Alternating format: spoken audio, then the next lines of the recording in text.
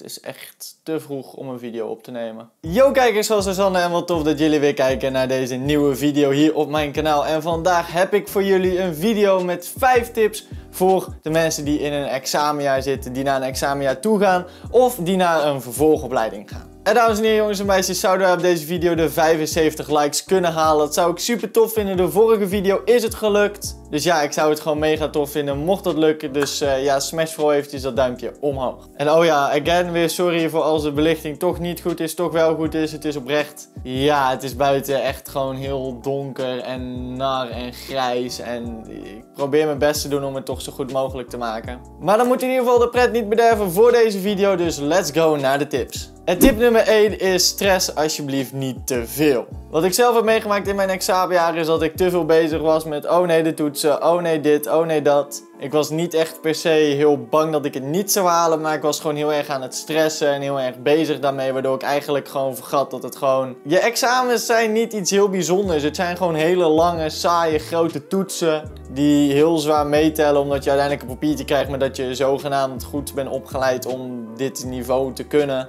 Ja, ik zeg het inderdaad een beetje als zogenaamd, omdat ja, ik vind het persoonlijk nog steeds... Ik vind het een beetje raar dat je dat papiertje per se moet halen om iets te kunnen in het leven. Maar goed, daar kan ik een hele andere video over maken. Gaan we nu niet over hebben. Maar alsjeblieft, stress hem niet te veel. Want je examenjaar is oprecht, denk ik, je leukste, je kortste en je minst stressvol. Het zou je minst stressvolle jaar moeten zijn. Als jij gewoon op een niveau zit waar jij thuis hoort en daar gewoon, ja, normaal gesproken ook goede punten haalt, dan moet jouw examenjaar oprecht niet heel moeilijk zijn. Want je examenjaar is letterlijk alleen maar herhaling van de afgelopen jaren. Je gaat bijna tot niks nieuws leren. Dus het is niet alsof je heel erg moet stressen, want het is alleen maar herhaling en het wordt gewoon opgefrist. En als jij altijd gewoon je best hebt gedaan en je ding hebt gedaan, dan is je examenjaar eigenlijk niet heel moeilijk. Dus stress hem niet te veel, want ja, dat is oprecht niet nodig. En door stress ga je alleen maar moeilijk denken, ga je alleen maar moeilijk doen en ja, raak je over stress. En dan is er inderdaad een grote kans dat het misschien wel fout gaat. Dus ja, stress hem gewoon niet te veel. En dan tip nummer 2, doe de shit die je moet doen. Oprecht, als een docent tegen jou zegt in je examenjaar of eigenlijk in ieder jaar...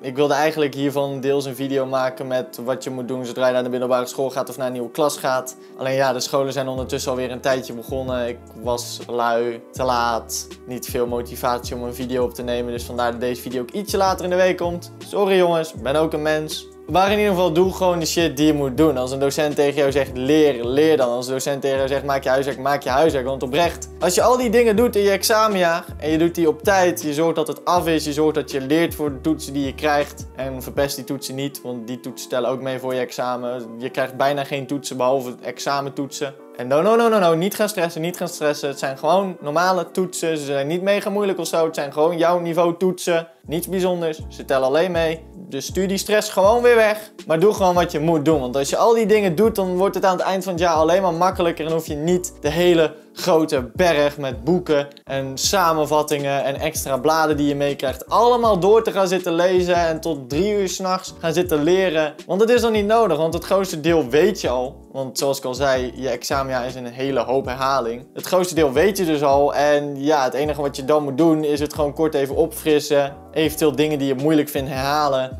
Maar het is niet dat je dan pas begint met leren. Wat sommige mensen wel denken. En het is heel belangrijk om te plannen. Tip nummer 3, plan. Oprecht, ga plannen. Als jij een toets krijgt, als jij huiswerk hebt, plan het. Zorg dat het af is. Zorg dat je geleerd hebt. En zeker voor je vervolgopleiding gaat dit heel belangrijk worden. Want ga ook plannen dat je naar open dagen gaat. Ga plannen dat je meeloopdagen mee kan doen. Voor je vervolgopleiding is het ook gewoon heel belangrijk. Zorg dat je op tijd bent ingeschreven. Maar plan ook zeker voor je examens. Want stel jij vindt vak A heel makkelijk en je hebt daar heel veel oefentoetsen van gemaakt. Dan hoef je voor vak A echt een stuk minder tijd te besteden dan voor vak B wat je wel heel moeilijk vindt. Natuurlijk is het altijd aan te raden om gewoon voor alle vakken wel tijd te besteden. Dus ga niet voor één vak niks doen. Want oprecht, daar ga je geheid op onderuit. Maar plan, als je ding A moeilijk vindt, focus je dan op ding A en niet op ding B wat je al jaren kent. Want het schijnt heel makkelijk te zijn, maar stel je krijgt ding B helemaal niet in je examen en ding A wel, dan heb je een groot probleem. En nee, niet meteen gaan stressen. Niet meteen gaan stressen. No stress. Maar ja, plan dus gewoon. Zorg dat je alles op orde hebt. Zorg dat dingen die je hebt ingeleverd van projecten die je moest inleveren ook hebt ingeleverd. Want geloof me, ze kun je hier gewoon laten zitten op bepaalde projecten. Bijvoorbeeld profielwerkstukken die je op de meeste middelbare scholen wel moet doen. Ze kunnen je daarop gewoon laten zitten of je niet laten slagen omdat je dat soort dingen niet hebt gedaan terwijl je dat wel moest doen. Dus zorg dat je die shit gepland hebt. Sowieso, plan gewoon je leven. Plannen is oprecht zo fijn. Als je gewoon zorgt dat je alles in je leven hebt gepland, dan is er niet in één keer rare dingen. En stel iemand anders die komt ertussen en je hebt gepland, dan kun je gewoon zeggen, yo, ik kan niet. Of ja, dan moet ik even kijken. Want het is, het is gewoon fijn om te plannen en je leven op orde, op rijtjes te hebben. Tenminste, dat vind ik. Er zijn ook mensen die dat totaal niet kunnen, die gewoon echt van hop naar her springen. Iedereen heeft natuurlijk zijn eigen ding. Maar als je plant, is er makkelijk orde, kun je makkelijk dingen terugvinden en ja, plan. En over je vervolgopleiding, tip nummer 4. Ga niet te veel naar anderen luisteren. Het is heel belangrijk dat je een opleiding kiest die jij leuk vindt. En heel vaak ga je dan te horen krijgen van mensen van, is daar werk in te vinden? Ja, weet ik niet, misschien. Maak je daar alsjeblieft niet te druk om. Zoek een opleiding die jij wilt doen en wat jij leuk vindt om te doen. Als jij echt iets leuk vindt en daar echt voor wilt gaan leren, dan kom je uiteindelijk echt wel aan een baan. Al begin je eigen bedrijf, al ga je doorleren, je komt vanzelf wel aan een baan. En ja, ga gewoon op je eigen gevoel af. Dat is heel belangrijk. Ga op je eigen gevoel of wat jij leuk vindt. Luister niet te veel naar anderen. Vroeger was het heel erg zo dat ja, je ouders je eigenlijk vertelden wat je moest gaan doen. Gelukkig is dat volgens mij tegenwoordig bijna niet heel veel meer. Tenminste, ik heb het zelf niet gehad. Het zou wat zijn als mijn ouders zouden zeggen wat ik moest gaan leren. Dat, ja, zou ik een beetje raar vinden. Maar ja, probeer gewoon, luister gewoon naar jezelf. Als jij iets wil doen, ga daar dan ook voor kijken. Ga daar naartoe. Ga we naar meeloopdagen. Maar zorg dat je echt iets kiest wat jij leuk vindt. En niet per se dat je iets doet voor het geld. Want oprecht, geld maakt niet gelukkig.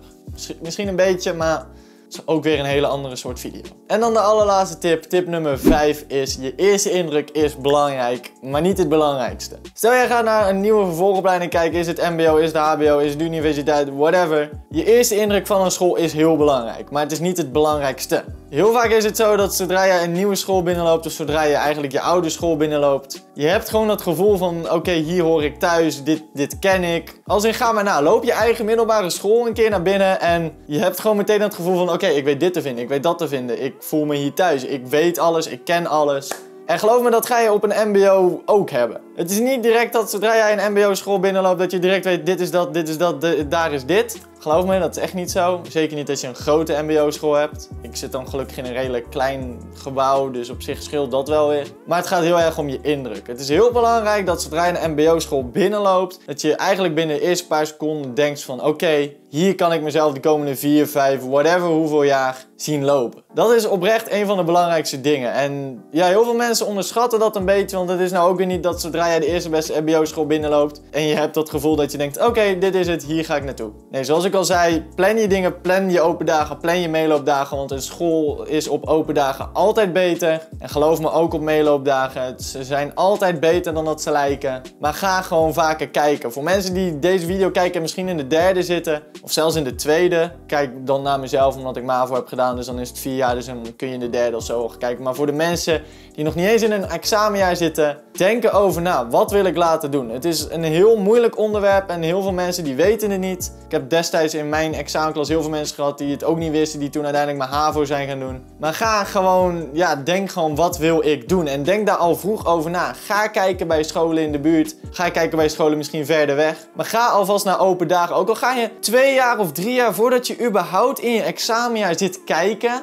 het is gratis, het maakt niet uit, maar ga gewoon onderzoek doen. Ga kijken, ga, voel die indruk die een school geeft. Ik zelf ging namelijk al in de derde kijken, dus één jaar voordat ik ex, uh, examen zeg maar deed. Gelukkig wist ik al een beetje welke richting ik in wilde, dus ik wist al wel wat voor scholen. Ik ben in principe in drie scholen gaan kijken en uh, in twee daarvan liep ik binnen en zat ik eigenlijk van oké, ik zie mezelf hier wel vier jaar lang rondlopen. En in één school ben ik niet eens naar open dagen geweest, ik had me daar ingeschreven gewoon puur als een soort backup plan, want ja, mijn idee was eigenlijk al gewoon om naar die twee scholen te gaan. Heel slecht, oprecht. Zorg dat je gewoon bij alle scholen bent gaan kijken en zorg dat je overal hebt ingeschreven. Schrijf je niet in bij één school, doe dat niet. Maar zodra ik die school binnenliep, dat was voor een of andere test. Letterlijk toen ik die school binnenliep, zat ik al zo van: oké, hier ga ik mezelf de komende vier jaar niet zien. Ik, ik weet niet, het is gewoon een sfeer die op een school hangt. Dat zodra je binnenloopt, dat je denkt van: oké, dit is het of dit is het niet. En dat is gewoon heel belangrijk. Zorg dat je die sfeer op je school ook hebt. Het is oprecht het kutste als je op een school zit waar je jezelf niet fijn voelt. En dan gaat het nu niet per se om de lessen of over de medestudenten of de docenten. Nee, het gaat echt puur om de school en gewoon de gehele sfeer als je daar binnen loopt. En oh ja, nogmaals, zorg ervoor dat je je op tijd hebt aangemeld voor scholen, voor open... Ja, oké, je hoeft je niet echt aan te melden voor open dagen. Maar zorg dat je op tijd hebt aangemeld voor verschillende scholen. En check het ook na of je bent aangemeld. Bel ze een week later gewoon van... Hey, hebben jullie mijn aanmelding binnen gehad? Het had niet veel geschild of de opleiding waar ik nu op zit, had ik niet opgezeten. Omdat ze mij schijnbaar in keer gemist hadden en ik wel was aangemeld, niet was aangemeld. Informeer, oprecht. MBO's en HBO's hebben tientallen, honderden leerlingen soms die naar die opleiding willen. En dan is het heel makkelijk dat ze één iemand vergeten. En het maakt dan hun niet per se uit. Dus het is meer jouw probleem. Dus alsjeblieft check na of je ja,